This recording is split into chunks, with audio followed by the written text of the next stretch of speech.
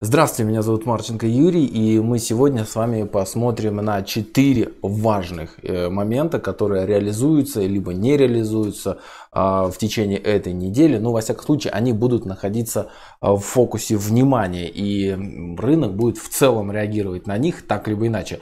Что это за вещи, разберем, как э, и что, э, и какова реакция может быть, тоже, безусловно, разберем. Ну, это будет у нас такой диалог, больше такой фундаментальной направленности на размышления. Если хотите какие-то конкретные точки входа, стопы и цели, отсылаю вас к утренним брифингам ежедневным, да, который есть э, в основном на канале, либо а, на сайте, на сайте автора он здесь, собственно говоря, указан. Ну а какие же вещи, о чем я говорю? Ну, э, обратимся для начала в экономический календарь. И если мы с вами посмотрим на среду, четверг и пятницу, то я бы сказал так, что эта неделя, это неделя центральных банков, потому что многие банки, ну не как многие, да, конкретнее э, ФРС, ну это, конечно, не центральный банк, но тем не менее ФРС, Национальный банк Швейцарии, э, Центральный банк Российской Федерации и Европейский центральный банк. Четыре э, регулятора, которые будут сегодня, на этой неделе, вернее, отчитываться друг за дружкой. И первым стартует здесь как раз таки ФОМС в завтра, получается, да, 11 декабря а, мы узнаем с вами решение о процентной ставке. Но а, сразу хочу сказать, что процентная ставка у них более-менее такая удовлетворительная и в рынок заложено отсутствие изменения процентной ставки, поэтому очень маловероятно, я бы даже сказал, практически исключено а, тот факт, исключен тот факт, что ставку будут менять. И это, в принципе, даже показывает рыночное настроение. Если мы с вами посмотрим на вот эту вот картинку, это э, данные данные, которые строятся, это данные по ожиданию процентной ставки, которые строятся на базе фьючерсов, э, которые торгуются на бирже CME. То есть, другими словами, э, Этими фьючерсами участники рынка, используя деньги, закладывают свои рыночные ожидания и можно сказать, что вот это и есть ожидание процентной ставки. И что мы здесь видим? Видим 99,3% участников рынка ожидают увидеть процентную ставку в США 150-175 байсных пунктов. Кстати говоря, все эти, э, скажем так, кто это? Э, все эти э, данные, таблички, которые сегодня буду показывать, ссылки на них будут в комментариях к видеоролику, поэтому обращайте на это внимание. А, ну и что здесь важно? Ну это важно то, что ФРС в принципе не дает сигналов о том, что они будут менять свою процентную ставку, и рынок этого не ждет в принципе. Причем, если мы с вами посмотрим не на 11 э, декабря 2019 года, который уже вот-вот наступит, а посмотрим в, ре, э, в перспективу э, до 16 декабря 2020 года, то только аж 16 декабря 2020 года рынок впервые задумывается, да, закладывает ожидание о том, что процентная ставка будет еще понижена на 25 базисных пунктов. Но это больше года еще времени, поэтому ожидания будут меняться. Но справедливости ради замечу, что рынок а, вот в этом ключе практически всегда оказывается прав, потому что не то чтобы там люди делают верные ставки, а просто экономические предпосылки э, складываются таким образом, что в целом умный капитал, крупный капитал не перетекает куда попало лишний раз.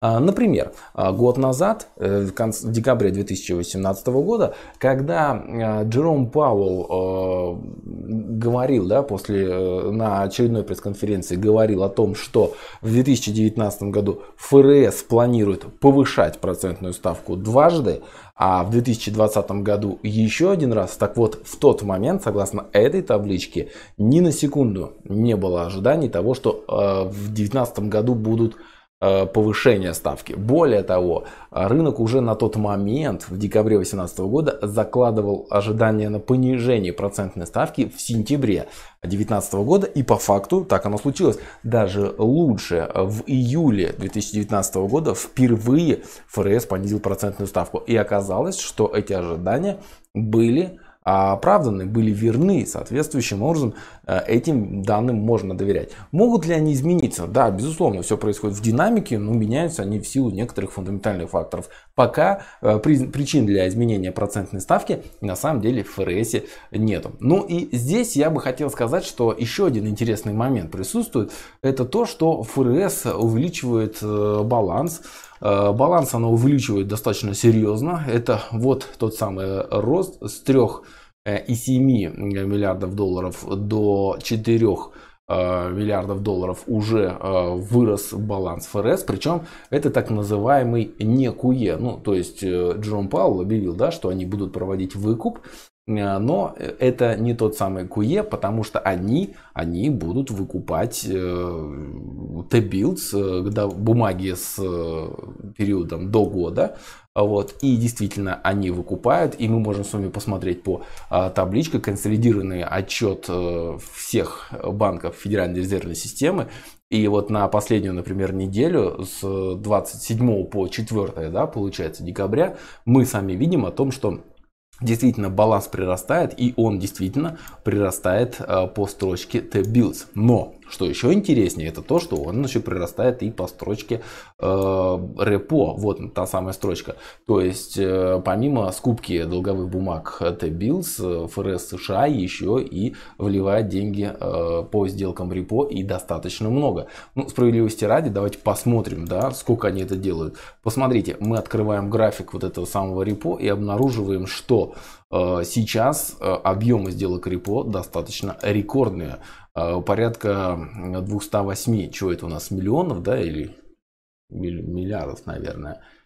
Да, миллионов долларов. Получается 208 миллиардов долларов. И до этого сделками репо они, так сказать, регулировали рынок вот, только аж в 2008 году. То есть надо сказать, что, э, так сказать, меры достаточно экстраординарные. Более того, мы сами можем еще посмотреть и другую строчку. Все-таки она тоже здесь есть. Посмотрите, у нас еще растет баланс а, просто по бандам. То есть, другими словами, ФРС США, помимо того, что они скупают T-bills и осуществляют э, сделки репо, они еще и все-таки наращивают долговые бумаги с горизонтом более чем один год.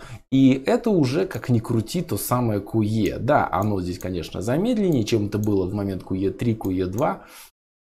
QE1, а, но тем не менее баланс растет, и ФРС США хоть и говорит, что это не, а, не QE и монетарной политики не там так уж и много, но тем не менее их отчеты говорят фактически об обратном. К чему я это все? Это все к тому, что мое внимание приковано к пресс-конференции Джерома Пауэлла, и если кто-то из журналистов, может быть, или бы он сам затронет эту тему, да, что их баланс действительно растет очень непомерными силами, и как он это прокомментирует, вот здесь тут э, интересно послушать, что он ответит, и, безусловно, интересно посмотреть, как на это отреагирует рынок. А в целом, э, ФРС анонсировала вот это вот Никуе в размере 60 миллиардов долларов в месяц, они значительно больше вливают в денежную систему, что э, должно э, давить, так сказать, на доллар США, и он должен слабнуть. Однако он этого не делает, потому что у них там кризис ликвидности все-таки присутствует, который не заливает деньгами. А, то есть э, доллар США у нас находится под давлением. Итого, а, с точки зрения ФРС США, да, я бы не следил бы за процентными ставками, они останутся без изменений. Намного интереснее а, то, что он скажет на пресс-конференции ФОМС. И тут я вас готовлю к тому, что такая волатильность может быть именно на этой почве. Хотя, честно говоря, сам прекрасно понимаю, что скорее всего этот момент будет упущен полностью. Второе, на что стоит обращать внимание, э, следующее, да, так сказать, это э, ставка процентная ставка Европейского центрального банка, которая, э, скорее всего, тоже останется без изменений. И здесь у нас есть и свой, так сказать, показатель, да, это среднесрочная ставка по еврозоне. А, ставка, которая тоже публикуется, межбанковская ставка, которая публикуется самим Европейским центральным банком, строится она на основании а, двух последних банковских дней и на основании того, с какими процентами проходят сделки там на межбанке. Ну, в принципе, все можно посчитать, это несложный такой достаточно момент, все расписано. Стартанул этот индикатор 2 октября 2019 года, то есть это, в принципе, можно сказать, абсолютно данный данные, но что для нас это значит? А, для нас именно вот эта цифра и есть э, те ожидания, которые заложены в рынок. То есть, другими словами, мы сейчас видим, что при текущей процентной ставке, ой, прошу прощения, а, по депозитам а, минус полпроцента, а, межбанки между собой рассчитываются в районе минус 0,54. То есть чуть-чуть ниже, чем депозитная ставка, что говорит о том, что рынок скорее склонен к ожиданию, закладывает скорее ожидание дальнейшей Э, дальнейшего понижения процентной ставки еще на 5 сотых процента. Конечно, на 5 сотых процента э, понижать процентную ставку не будет, да и в принципе в этом особого смысла нету, поэтому э, во всех прогнозах указано, что ФРС, ой, ЕЦБ, прошу прощения, значит, ставку понижать не будет. И абсолютно верно, потому что, ну, это уже, так сказать, не подход. В этом плане Марио Драги единственное, что мог сделать, сделал. А он понизил процентную ставку за свои 8 лет Э, да, если мне память не изменяет, 8 лет правления в Европейском центральном банке, а что он сделал? Он запускал печатные станки, он понижал процентную ставку. Он ее понизил в отрицательную зону по депозитам.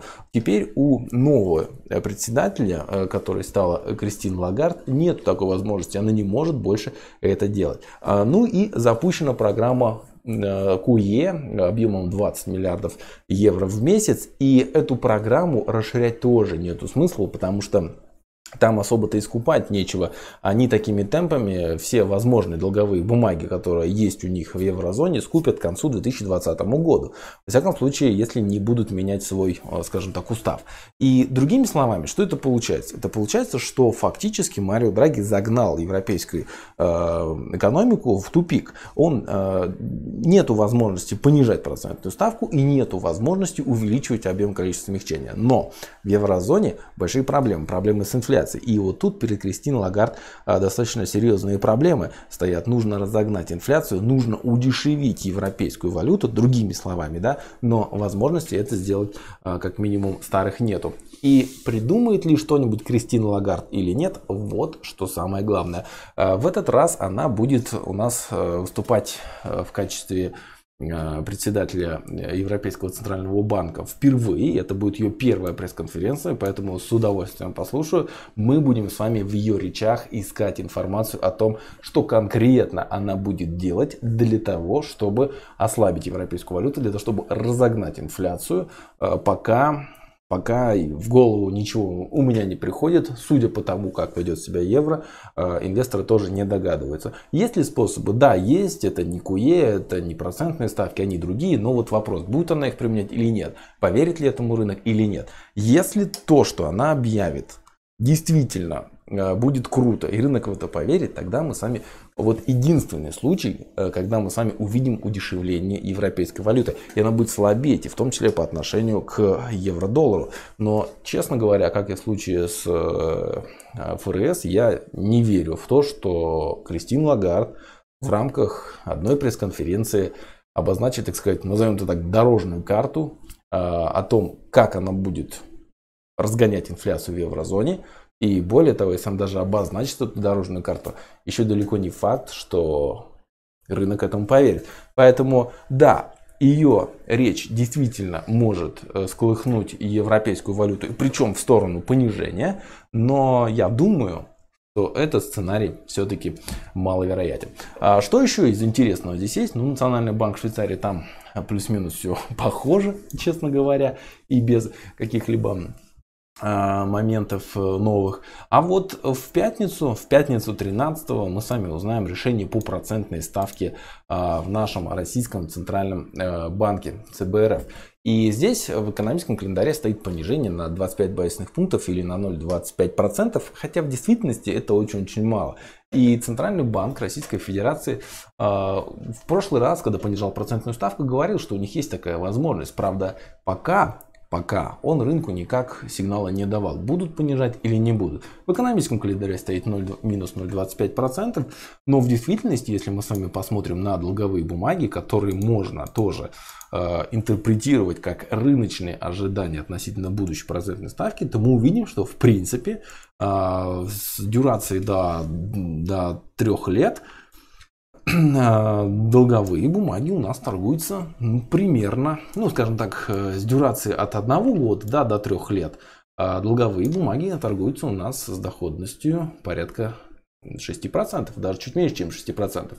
Это говорит о том, что в принципе рынок готов к понижению процентной ставки регулятором на полпроцента. И действительно будет неприятно и будет волатильность на доллар-рубле, если Центральный банк Российской Федерации это понижение не устроит. То есть э, понижение на полпроцента это приемлемо. Понижение на 0,25% по идее должно, а, так сказать, понизить э, стоимость рубля, да, то есть курс рубля должен понизить, но по факту он может и вырасти, потому что рыночные ожидания таковы, что мы ждем понижения на полпроцента. Ну и, соответственно, серьезного роста мы можем ждать от рубля. Ну как серьезного роста? Такого понятного роста мы можем ждать от рубля в случае, если Центральный банк Российской Федерации не понизить процентную ставку. Скорее всего, они это сделают. Скорее всего, они это сделают на полпроцента с э, указанием того, что это последнее понижение и дальше впереди не ждете, что 6% это долгосрочная процентная ставка и это, на мой взгляд, самый а, вероятный сценарий. Тоже будем следить и еще одно, конечно, такое вот э, дополнение. А, Российский рубль реагирует на изменения монетарной политики регулятором чуть-чуть иначе. Во всяком случае, не так быстро, не так резво и не так заметно, как, например, евро, а, либо доллар США. Поэтому здесь а, поосторожнее с этими моментами.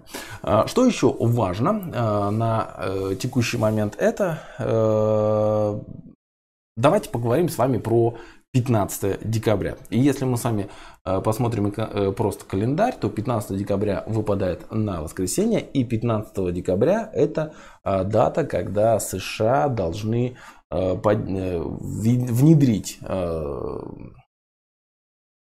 пошлины на товары из Китая, и они это анонсировали, и единственное, почему они это не должны были сделать, это если сделка, вот эта фаза номер один в торговой войне между США и Китаем будет подписана. В действительности она пока не подписана. И более того, мы сами получаем информацию о том, что Трамп вообще не имеет дедлайна и по большому счету считает целесообразным вернуться к подписи фазы номер один э, после выборов в США 2020 года, то есть де-факто через год. И вот здесь он не держит свои слова, потому что год назад или полгода назад он говорил о том, что если китайцы будут тянуть до 2020 года, то никакой сделки вообще в принципе не будет. А теперь сам, сам просто берет и предлагает. И почему это важно? Это важно потому, что если эти пошлины в 15 декабря будут введены, то мы с вами получим, безусловно, негатив. Негатив по фондовому рынку. И мы с вами должны, наверное, в понедельник увидеть, как S&P 500 открывается с гэпом вниз. А, будет ли удерживать это падение ФРС или нет, а тут уже много будет зависеть от э, ситуации. Напомню, что кризис ликвидности на межбанке есть. Это говорит о том, что если падение пойдет, то оно может пойти лавинообразно, потому что деньги на скупку акций их просто-напросто не будет. Поэтому э, ввести пошлины 15 декабря э, для Трампа это, на мой взгляд, большая опасность. Опасность обрушить собственный фондовый рынок, которому так сильно дорожит и который, наверное, рушить до своих выборов он не станет. Ну, во всяком случае, постарается удержать любое падение. Не зря баланс ФРС так сильно растет. Соответственно, я предполагаю, что эти пошлины, они э, будут отменены, ну, либо, во всяком случае, отодвинуты. Опять твитом Трампа, и вот это вот, в отличие от центральных банков, э, может э, произойти в любой момент. В любой момент. Скорее всего, это, конечно, произойдет в пятницу или, может быть, даже там в выходные. Трамп любит такие вещи делать, анонсировать такие вещи, когда рынок закрыт, чтобы он не давал сильную реакцию. Но если пошлины будут отменены, то мы с вами можем нарваться на Санта-Клаус Ралли. Кто не знает, что это такое, это мероприятие, когда э, фондовый рынок растет перед окончанием года, и мы с вами можем посмотреть э, относительно того, э, вообще реально эта штуковина или нереально. Я здесь для вас сделал с 2009 года. Раз, два, три, четыре, пять, шесть, семь, восемь, девять, десять, одиннадцать. 12. 12, э, ну, э, если не будем брать в расчет этот год, то 11 э, лет назад, так сказать, ретроспектива, есть возможность посмотреть, как вел себя индекс S&P 500 в декабре под конец. И мы можем посмотреть, что из 11 случаев 3 раза мы видели падение, падение рынка в декабре. Во всех других случаях, ну не сказать, что прямо ралли, но тем не менее э, росли. Например, 2008 э, год с 1 декабря до э, до 1 января, ну до 1, короче, года, до, до открытия недельной, до, до закрытия последней недельной свечки, мы с вами увидели рост порядка на 5, да даже почти на 6%. Это здесь, если так сказать, удалить, видно, что ну так себе рост. А через год мы то же самое видели сами примерно с ростом, но уже в 2%. А, в 2010 году э, недельная свечка 29 октября и закрылась там в конце тоже декабря рост порядка 5%. А, здесь у нас в 2011 году 28 ноября свечка открылась и закрылась последняя декабрьская с ростом 8,3% и так далее, и так далее, и так далее. Причем ускорение было либо в начале, да, либо в окончании э, вот этих вот моментов. Здесь у нас получается 2 декабря свечка открылась и там какого?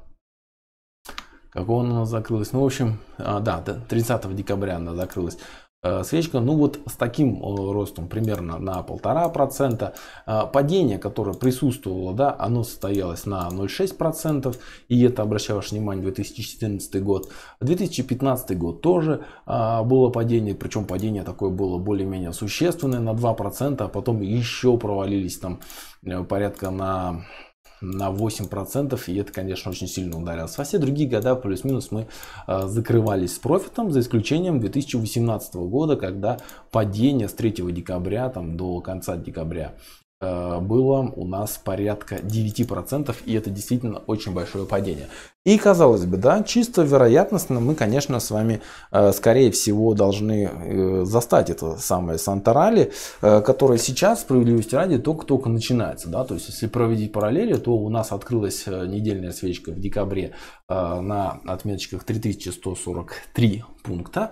Вот, и пока движуха происходит, но мало того, что количество положительных э, лет чуть больше, а есть еще очень интересная зависимость. Если мы с вами посмотрим э, на 14, на 15 и на 18 года, но посмотрим не просто на график, а на тот же самый баланс ФРС, то мы с вами обнаружим, что на самом деле ни в 14, ни в 15 году э, баланс ФРС он либо заканчивался расширяться, да, либо вообще в принципе. То есть деньги ФРС не вливала. Особенно это видно в 2018 году, когда под конец года ФРС не то чтобы не вливала, э, не расширяла собственный баланс, но еще и проводила так называемую операцию КУТ, когда повышала процентные ставки и изымала деньги из э, денежной системы. Соответственно, вот это действительно, так сказать, смогло, я не говорю, что это напрямую да, могло спровоцировать падение под конец года, но рынки на самом деле просто не поддерживать. Что мы видим сейчас? Мы видим сейчас, что ФРС на самом деле разгоняет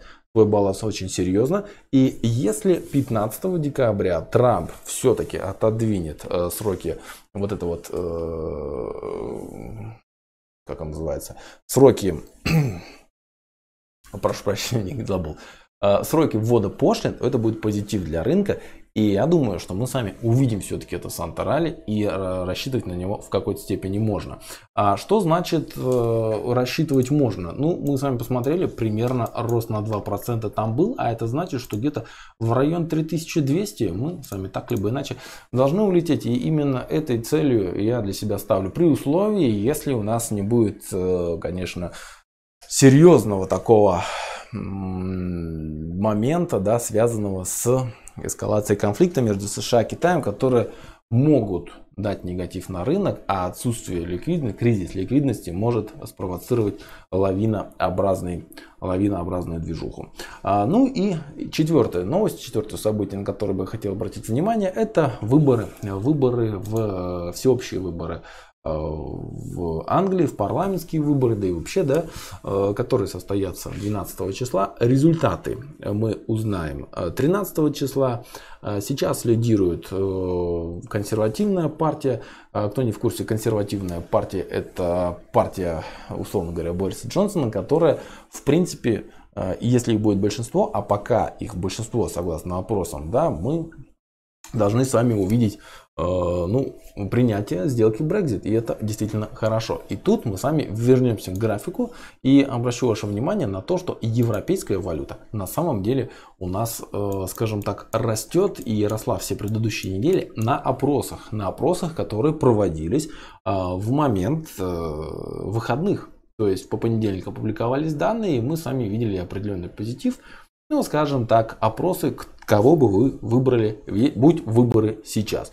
Примерно то же самое, кто помнит, проходило и а, в момент самой сделки Brexit за две недели до всеобщего референдума проводились опросы. В одном, в одном опросе победили, скажем так, по опросам Большинство было за выход. Через неделю большинство было против выхода. Разногласия там были небольшие на самом деле, а в итоге мы получили огромную волатильность. Что э, делать на фунте сейчас? Растем, и если партия Бориса Джонсона э, выиграет, будем ли мы расти дальше или нет? Интрига? Да никакой интриги. Я думаю, что мы просто покупаем на, э, на слухах. И фактически весь этот рост, он уже заложил э, сценарий Э, победы э, партии Бориса Джонсона, партии Брекзит. Соответственно, когда мы с вами узнаем факты, а именно победу, да, то мы с вами можем увидеть на самом деле какую-то чисто техническую коррекцию в район 1.2950. Причем я хочу обратить ваше внимание, что это скорее всего будет коррекция, потому что э, дальше мы уже сами будем получать события о том, что как именно проходит сделка, и не сделка, а вот эти договоренности, проголосуют, не проголосуют, будут ли какие-то дополнительные, то есть там еще на самом деле очень много информации, но чисто техническая коррекция на продаже фактов, это то, что мы можем увидеть, это то, на, чего, на что я рассчитываю. А если подводить черту между регулятором Европейского центрального банка и ФРС и э, Джером Пауэлл и Кристин Лагард, да, как я сказал ранее, как я считаю, не привнесут. Могут, конечно, в какие-то определенные моменты. Например, а, Кристин Лагард может спровоцировать снижение европейской валюты, но для этого ей нужны конкретные шаги, которых, наверное, у нее нет и которые она не объявит в этот раз. Джером Пауэлл, скорее всего, замнет эту тему, что у него там растет КУЕ, что у него там растет баланс, и все это еще называют не КУЕ. Поэтому если эти два события произойдут, ни та не скажет, ни тот ничего не скажет, серьезного движения в европейской валюте я не жду. Скорее всего, мы, конечно, будем подрастать по евро-доллару, но все в рамках вот этого боковика 1.1130 и 1.11 ровно. И, наверное, здесь мы можем с вами умереть, так скажем, до конца 2019 года на какие-то другие серьезные движухи я не, не жду. А, если, конечно, не будет изменений, о которых я сказал. Ну и S&P 500. Здесь, правда, уже фьючерс. И та отметочка 3200, про которую я говорил, она все еще впереди. Это, так сказать, моя долгосрочная цель. Вопрос только в э, в реализации, где и как попробовать взять. Ну, была идея еще покупать от 3100, соответственно, она там и висит, эта идея 3200 это та цель, цель на тот случай, если случится Санта-Ралли, который, вероятно всего, произойдет, если Трамп пойдет на попятную и уберет все эти э, пошлины, которые вот-вот должны наступить 15 декабря. Ну вот такой расклад, это расклад причем на эту неделю. А будут ли изменения на следующей неделе, я вполне уверен, что да, тем более на следующей неделе еще и всеобщая экспирация. Напомню, валютные фьючерсы и многие-многие-многие фьючерсы на многих биржах будут экспирироваться в числах 20-х. И это тоже может придать волатильности, поэтому расслабляться рано, несмотря на то, что конец года. Будьте в фокусе, будьте во внимании.